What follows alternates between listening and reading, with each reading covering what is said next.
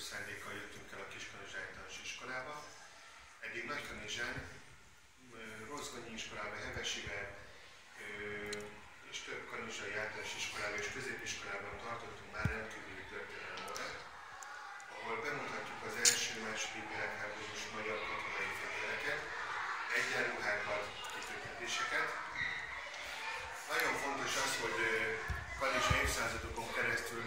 híres katonaváros volt, és még mindig sokan úgy ismerik, hogy katonaváros. Sajnos az aktív hivatásos katonai állomány már Kanizsáról elköltözött, viszont számunkra nagyon fontos az, hogy a gyerekek megismerjék a, a katonai múltunkat, és büszkék legyenek arra, hogy Kanizsa ilyen jelentős katonai múlttal rendelkezik, és ennek apropóján tartunk előadásokat, ápoljuk a hagyományokat, bemutatjuk a gyerekeknek, és mellette az első világháborús katonai sírok, ami Magyarországon a legnagyobb első világháborús katonai temető, annak az ápolását